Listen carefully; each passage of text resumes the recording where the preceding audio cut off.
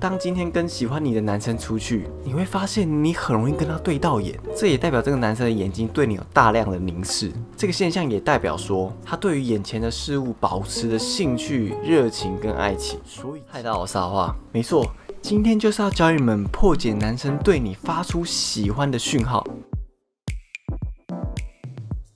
在那边一直纠结他到底喜不喜欢我，然后一直烦恼何时该前进，何时该放弃，连拥抱都没有勇气。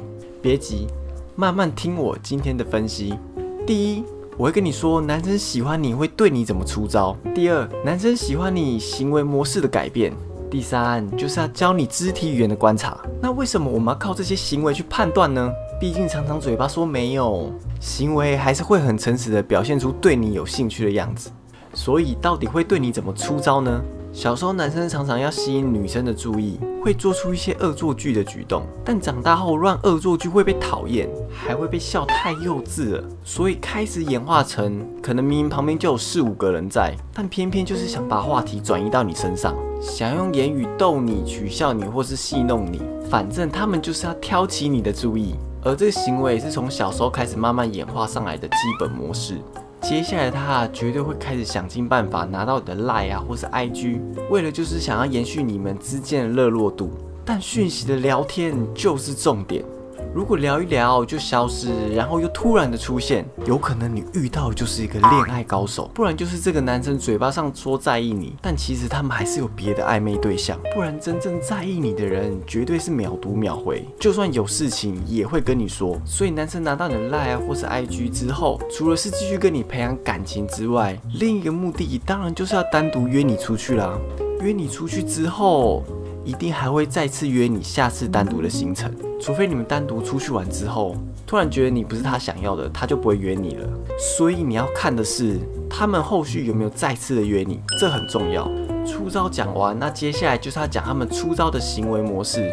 一些刻意暧昧的小动作，也代表他想要跟你提升你们的关系，但往往经验不足，很容易露出破绽。因为在喜欢的面前绝对会紧张，除非他是资深的恋爱玩家，才不会表现出太紧张的样子。而这些各种拙劣的手法，就是为了想要跟你有肢体接触的机会，想要缩短你们之间的亲密的距离，这样才会开始产生暧昧的氛围。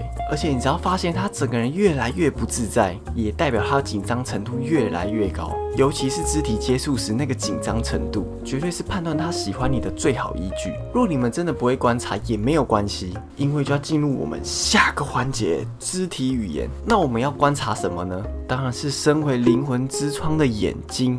当今天跟喜欢你的男生出去，你会发现你很容易跟他对到眼，这也代表这个男生的眼睛对你有大量的凝视。这个现象也代表说，他对于眼前的事物保持着兴趣、热情跟爱情。所以千万不要放弃眼睛这个观察点。那说完眼睛，再就是说身体的倾靠。当你在说话聊天的时候，他的身体会往你这边倾靠，脚的方向也会朝向你这边。大致上这些基本的判断，你可以去注意看看。最后我想说的是，在你面前很紧张的人，也就代表这是喜欢你的表现。如果你也喜欢他，千万不要嫌弃他拙劣的出招，因为在喜欢的面前越是紧张，越代表他们不会用什么技巧，但有可能会让你感觉不自在啊，或是很尴尬。那相反的是，经验丰富的老手，反而才是让你感受到轻松自在的氛围，而且每件事情都可以处理得很冷静，不会让你有感受到任何的尴尬。所以，想要什么样的爱情，有时候就是在你看人的那一念之间。那我们今天到这边结束喽，我是阿华，偷心教室，